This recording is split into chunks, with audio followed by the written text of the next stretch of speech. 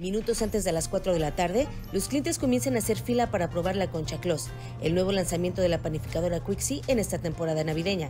La empresa moreliana que abrió sus puertas hace cuatro años ha sido tendencia en redes sociales luego de que en este 2023 ampliara su menú de panes con sabores exóticos y decoración temática para distintas festividades. Los esposos Mitzi y Quick son los fundadores de la panificadora Quixi. De esta manera, diariamente preparan conchas con sabores exóticos como barbacoa, caldo de pollo, chile pastilla, tequila, entre otros Su nuevo lanzamiento es la concha Claus y el pan de muñeco de nieve, piezas que por su minuciosa decoración requieren de hasta cuatro horas para su preparación y solo se venden a partir de las 4 de la tarde.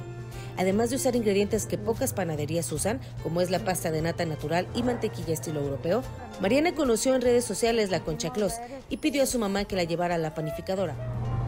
Es así como la concha Claus lleva sabor y alegría a los paladares de los morelianos. Con uno, Charbel Lucio.